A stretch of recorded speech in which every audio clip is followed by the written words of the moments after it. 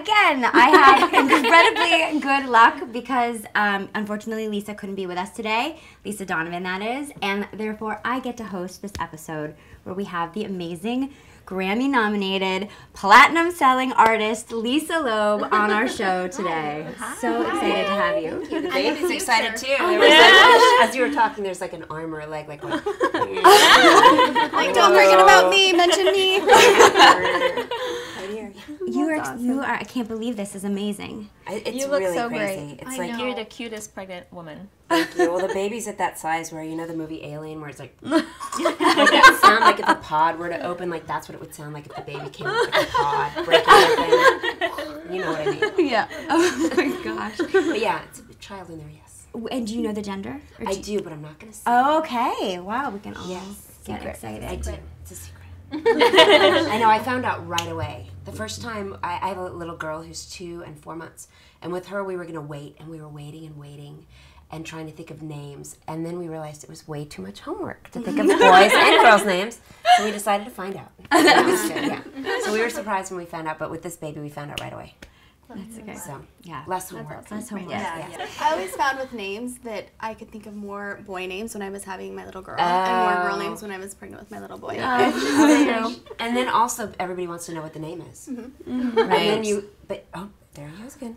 But then you read, uh, you're not really supposed to say because then people get that look in their eye, like, oh, Yeah. yeah. I knew somebody Oh, like, no. oh, the girl in my class who had that name, she was a terrible person, you know. I named my little boy Gage, and everyone that I told was like, I knew a little boy named Gage, and he was so naughty. And I was like, oh, no. That's hilarious. I did it anyways. Yeah, and then the joke names. Yeah. We had a really good joke name that was Bert and Ernie. Isn't that cute? Like Burton, Ernie. Ernie. Oh, yeah, that's so cute. But it's, it's Burton. I, I know a Burton who's a great like hairstylist, but he's like really stylish. And Yeah. That didn't seem right for us. yeah so your child might be like, Mom, Bert and Ernie, really? really? really? Or they might be like, awesome. Who is it? Is it Jason Lee? His kid is his name is Pilot Inspektor. Mm. really? Somebody has a kid named Pilot Inspektor for sure. That's amazing. Wow. That's so Yeah. funny. Lisa is um, so busy doing so many amazing things, and I would love to hear you talk a little bit about your books and your music for children. Yes, I have a book. Here's the book. Oh, I love it. let's- Can't reach let's- over there. let's, let's hand it to you. It's like my daughter does that. She's like, eh, eh. I'm like, it's right there. she just drops her binky. That's so funny. Called Lisa Loeb Silly Sing-Alongs. um, the Disappointing Pancake and other zany songs. And it has a CD. See this little star that's shiny? It's a little star. It's the CD that's inside of it. So it's an illustrated book that um, was inspired by my second. I have two kids' records. One called Catch the Moon that I made with a friend of mine named Elizabeth Mitchell, who is my college roommate, and she makes a lot of kids' music. Right now, she's with the Smithsonian Institute um, record label and makes a lot of very folky, real-sounding people singing and playing music and that's what my first kids record was like it was a little bit more lullabies. Mm-hmm. Then the second kids record i made was called camp lisa which was inspired by my summer camp days which was like a huge deal for me i went to summer camp did you guys go to summer camp Yeah, at all I did. yes girls so camp. much it was like a church thingy, but it was only like a week long. oh well but were you singing standing on benches and things Yeah, like around campfires at So you were crying. I love you. exactly yeah you're my best friend true. I'll never see you again. so anyway, my summer camp experience was like that too, and it was it was just like a regular camp, not uh, not art camp or anything, but we did a lot of singing, and uh, I think it was where I learned how to play guitar. Um, but anyway, it was a big deal for me. So my friends Michelle Lewis and Dan Petty and I made a record called Camp Lisa. And that inspired this book, which has some of those sing along songs. Some songs you might know, like Found a Peanut, Found a Peanut. I don't know if you know that song. It's a very long song about the journey of a peanut. Um, but then it also has songs, original songs, like The Disappointing Pancake, which is about a very disappointing pancake. Um, Why is it so disappointing? well, if you listen to the song, it's like right. Um, no, but in the song, he, he's uh, the pancake. We, we we really wanted to write a song like uh, um, spaghetti. The on top. Is the song called? Oh, spaghetti. Spaghetti on, On top of spaghetti. No. Yes, my brain on top of spaghetti. All That's it. covered with cheese. Exactly. You know what? I love spaghetti. It's a about a a song. meatball, you know, I think songs about inanimate objects, especially food objects, are very Can't exciting. I knew that. so we did a, a journey of the pancake. Um, and anyway, the, the pancake ends up being less disappointing than you'd expect. Oh. Just like you and me. anyway, that's the, what the song is. And it's, it's a collection of songs and a few activities and a few recipes. And it's kind of something that's like very interactive, but in an old school, you know, sit down and read a book kind of way. That you guys know, like with your kids, it's really fun to sit and just read and look at the pictures. And then you can also listen to the CD too. Fun. So that's this book. That's fantastic. I love that. I, what I love most is that I listened to you so much, all like all your albums, and then um, that you have something that I can give to my kids too. That's exciting. Oh, thank you. You know, I, I listened to so much kids' music when I was little. Mm-hmm. Like, um, when I was young, there was a record called Free to Be You and Me. It was Oh, really popular. love- And also one called Really Rosie that Carole King, who is like a real singer songwriter, Right. she made this record with Maurice Sendak's um, books. And it was real musicians, real recording, real production. When you listened to it, you thought you were really cool because it sounded like a grown up record. Yeah. So we mm-hmm. wanted to make records like that where you have real musicians and people mm. playing real music instead of some of the toy music that you hear a lot. Yeah. So anyway, that was the inspiration for that. and you're touring right now. You're touring right now. I'm touring for grown-ups mainly. Oh. Like I'm going away to play in Northern California. My last trip Oh my before I had the baby um, on the airplane. Not on the airplane. my last trip. Bad grammar. Bad word order. I'm going. This is the last trip on the airplane, comma before I have the baby Got in June. um, but uh, I'm playing grown-up shows, and I also do. Um, I do kids shows too as well. Um, and I also do like I'm doing a book signing uh, in Northern California, where I'll meet kids. I don't think I'm gonna play at that one, but yeah, lots of grown-up things and kid things. How did you begin with the kids, kids music and kids books? Well, it, it was funny. I was making a lot of grown-up records, and along the way, um, Barnes and Noble actually wanted me to make a record for them. But they wanted me to try something different than I had that I hadn't done before. And like I said, I was so inspired when I was a kid, and, and growing up by these kids' records before I even had kids, before I was even close to having kids. Um, I just was really inspired to do something like that. Also, I think making kids music is a totally different. Um, well, in some ways, it's just like making grown-up music. You're making real music with real lyrics. But in other ways, I, again, from what you've probably heard, you can be a lot more silly or imaginative. Yeah. Um, for me, it was also a really good um, way to collaborate. I love collaborating with other writers, and sometimes when you collaborate with other writers, you end up writing stories and Uh, things that are a little bit less abstract. So that was a good thing mm-hmm. for me because sometimes when I'm writing grown-up music, it can be more poetic. And mm-hmm. but for kids, you want to do something that's imaginative, that can spark their imagination, but that also tells a clear story that they can kind of follow. Yeah. So it was it was fun to have that challenge. So I made my first kids book, Catch the Moon, mm-hmm. which was actually it was a little board book and a record, but it's in the CD section at Barnes and Noble. Oh, like if you go to the um, the book section, they'll say we don't we don't know what that is, even though it's a book. Um, but if you go to the CD section, they'll know. Oh, that's great. Well, I, there's so many other things I want to ask you about, and uh, one of them is this foundation, Camp Lisa.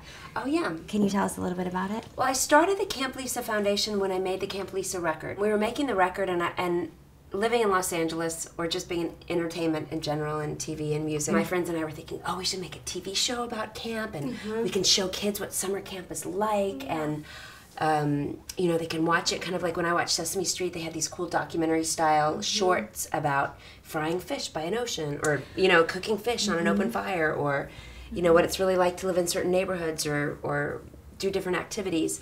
And I thought, oh, we should show kids that. And then I thought, we should just send kids to camp. they don't need to like watch it on television. We should just send kids to camp. So we found a great organization called Scope that's based on the East Coast, and they um, are already connected with a lot of great summer camps that have that are very safe camps that have great counselors that are geared towards helping kids um, who normally wouldn't have the opportunity to Right. go to, to camp, and. Um, and not only are they interested in, in the kids at camp, but they're also interested in their education when they're not at camp, making sure they finish school.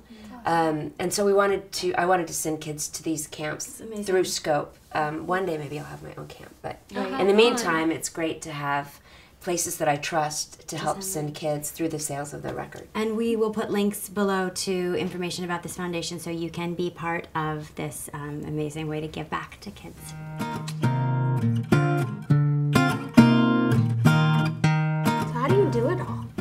Do This it. is a great question. Yeah, And it's actually a question uh, that has been asked by our viewers, which is Can you guys talk about how you get motivated and get your work done while also staying happy? I struggle with getting my work done and balancing everything in my life. How do you guys do it all? This is, I mean, Lisa seems to be the right? hardest working First of all, woman. you don't do it all. right. Right. Even if you think you can, you don't. You just don't. And and that's really hard. Like I I can barely I can't stand leaving dirty dishes in the dishwasher. I mean in the Mm-hmm. sink. But you have to do that. You know, you have to not do it all. Right. You have to let your hair go one more day without washing it. you know? You have to prioritize first of all. And also I think you know the basis for being able to do a lot of different things is really getting enough sleep. And I think that parents need to prioritize that. Um, I know sometimes when kids are having trouble sleeping through the night or somebody's sick or this or that, there are definitely exceptions.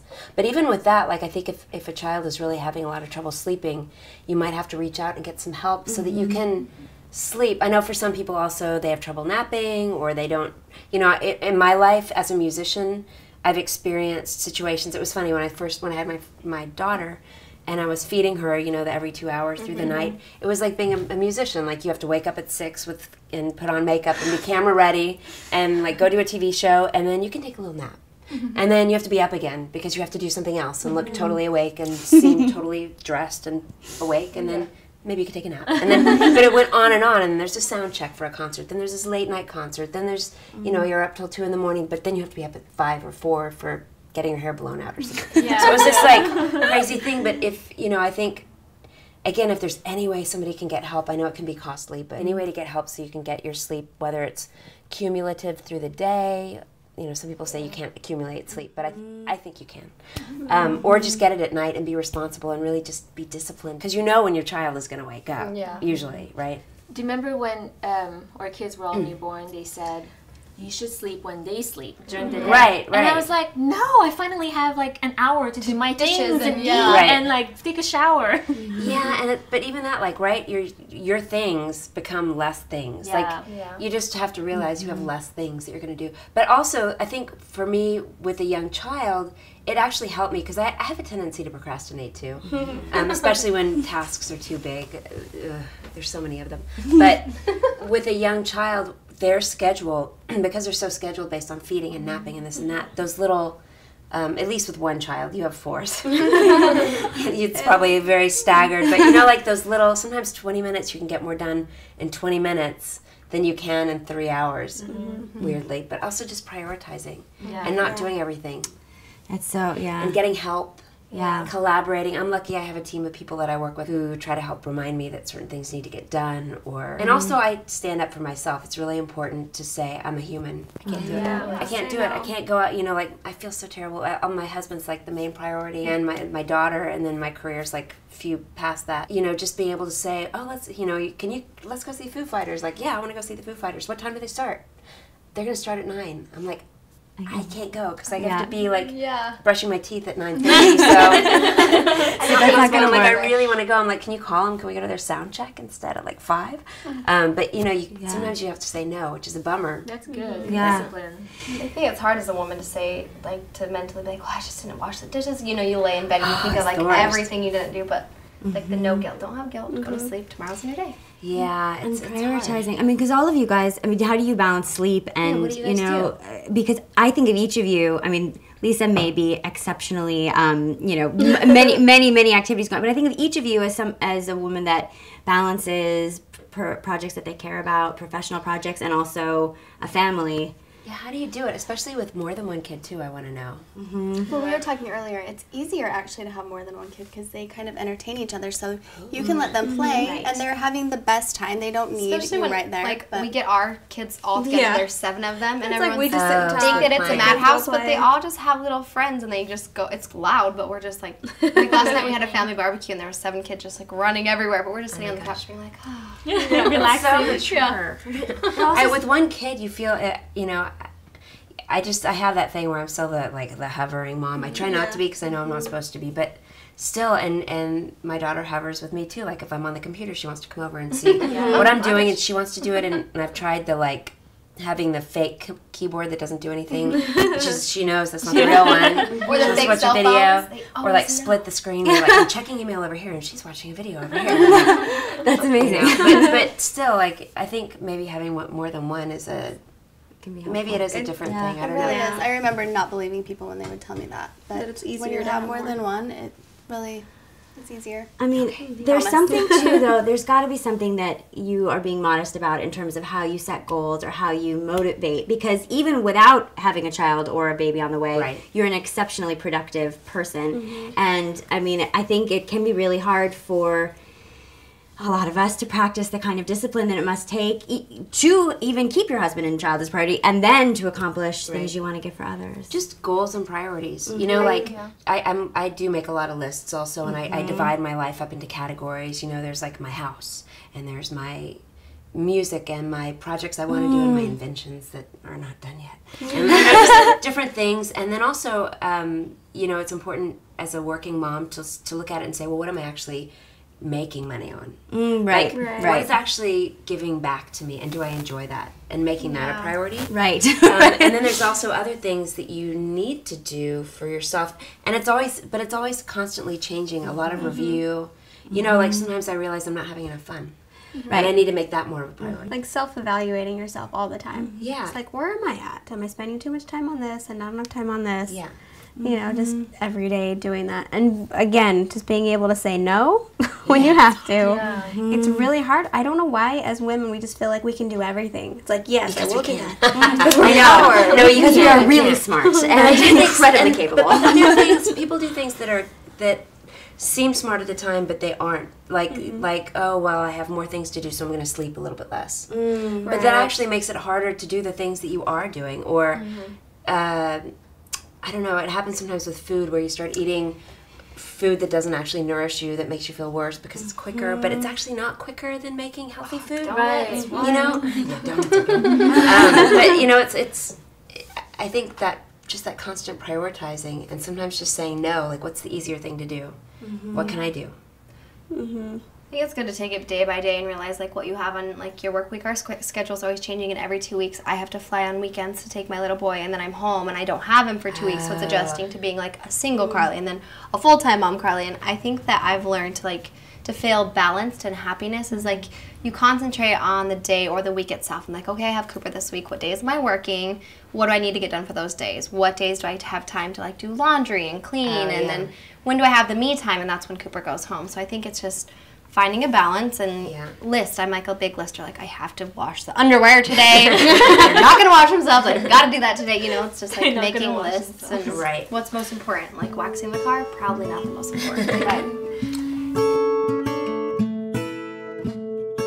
I actually have a question that I would like to ask. I'm sorry, viewers. This is my question. um, I having a, about to have a second child, I, it, and those of you who've had second children. You're like, Uh, oh i'm not pregnant Oh no! What? i want to do that joke on somebody at some point but i haven't done that when are you doing I would be like, yeah um, do you think what? What do you? How are you talking to your first child about the second one coming? And what do you think about? I mean, how you know how is that going to work? Do you The worry about it? The transition. transition from being you're my entire universe to you're you're going to share my universe. I've, I'm wor- I'm not worried. Worried's the wrong word. Whoa, the baby just moved when I said that. Oh, no. I'm, I'm interested to see how it how it works out because, and I, you know, it's so cliched. I guess I hear a lot of moms say, you know, you think you can't love more than what you know. You have your first child and you let it comes out in a Texas accent because I'm from Dallas. So everyone's like, you think you can't love your, you know, your second child as much as you love your first, and then you find out your love is like. You know, just- Never ending. yeah, exactly. Your love is never ending. Like, It's so nice. It's better It with a is. Texan It's accent. weird. It's like you know. Sometimes I like one of my cats better than my other cat, and so I am. I am worried. No, not worried. Sorry. I'm just. I'm interested to see how it's gonna to play out. You know, I don't know. I we did tell our daughter about having a second having a second child. We waited a long time um, just to make sure the pregnancy was on track and everything was going well. Also, I had heard from some other moms that sometimes kids don't aren't aware of you know time. So if you tell them we're gonna have a baby and, and then it's like six months later, that's too confusing. Yeah. So we waited. I'm surprised she never asked about my belly because she's very verbal, but she didn't ask anything. But we we got a little book um, by Joanna. I forgot what her name is. It's it's uh, a big sister book, and we wrapped it up and we said, "Oh, here's her present." She loves presents. She loves books, and we opened it up and and. I think it was more moving for my husband and I than it was for her. We were mm-hmm. tearing. Mm-hmm. But she was just like, we're like, here's a book for you, and, and you're going to be a big sister, and we have a baby. We said, we have a baby in the belly, in mommy's mm-hmm. belly.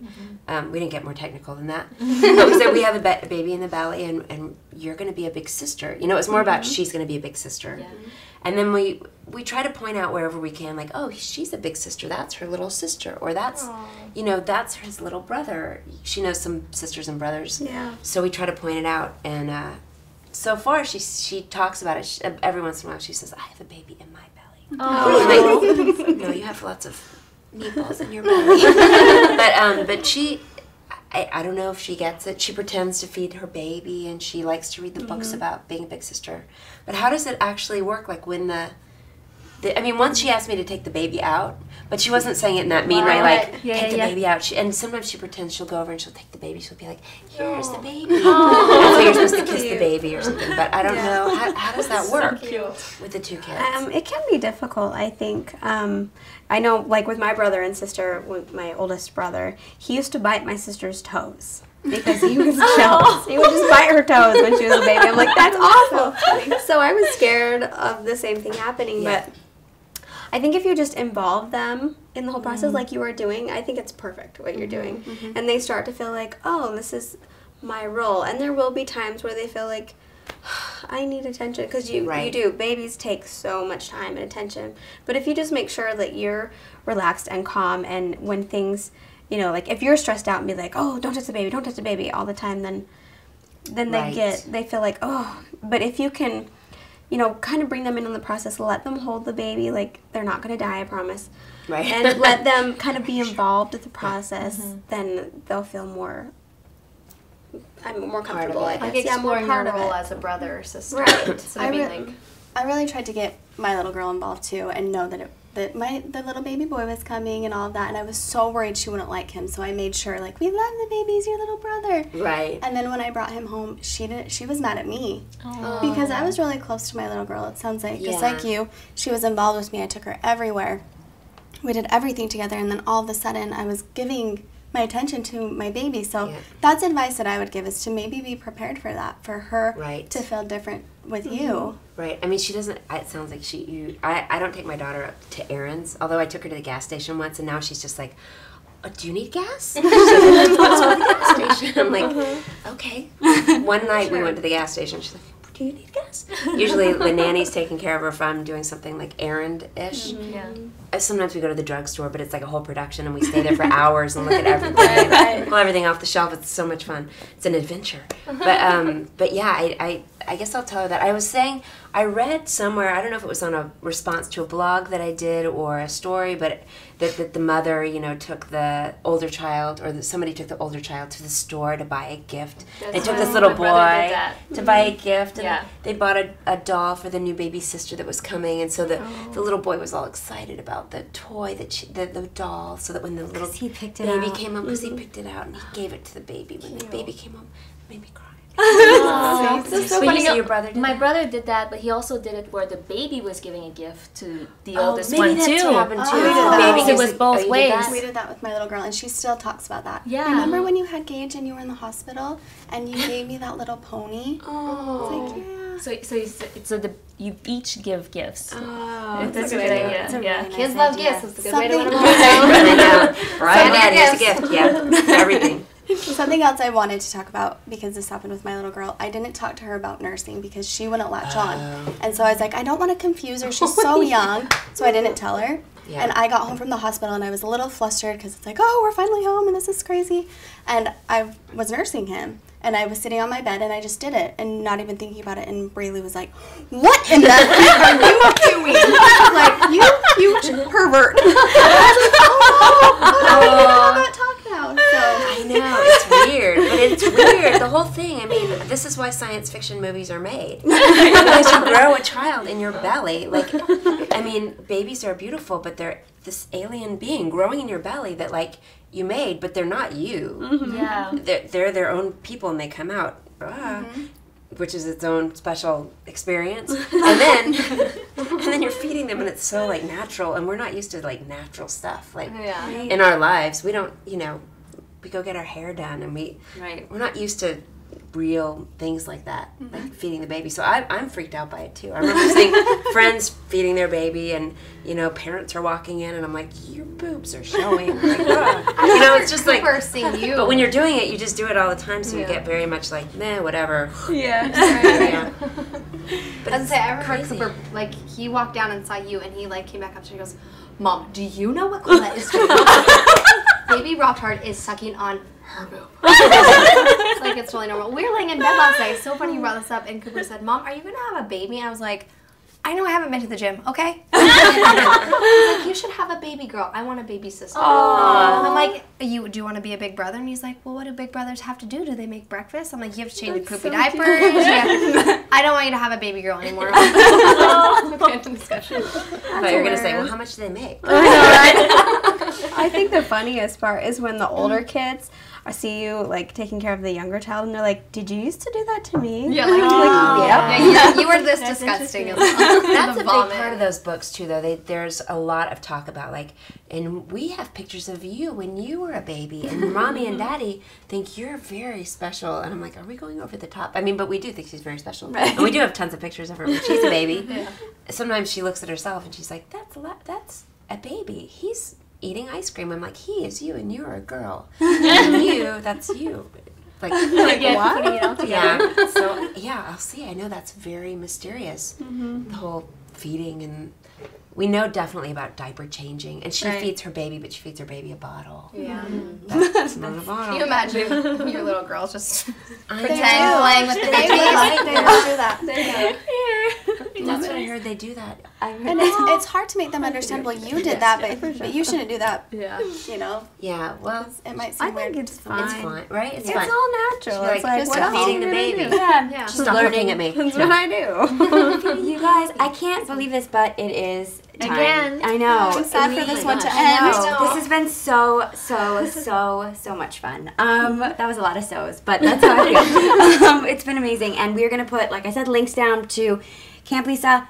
How to get these amazing books. We're gonna give this book away in oh, the giveaway, this Facebook giveaway, and as well as Colette, do you want to talk about this Oh. giveaway?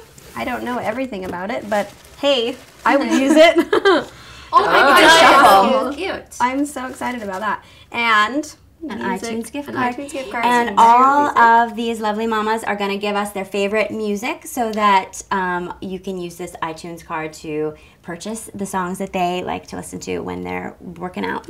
if you so choose. And so you get music for yourself and music for your little ones for this week's giveaway. But you have to go to our Facebook page and find us there. And then definitely look below because the one thing we didn't have time to talk about, many one of the many things we didn't have time to talk about is Lisa's eyewear line. These amazing glasses that she's sporting, part of her eyewear line. So the link for that will be there below as well. So follow us, like us, leave your comments below, like us. And, um Thank you guys. Thank you so much. Thank you, Lisa. Thank you. Bye.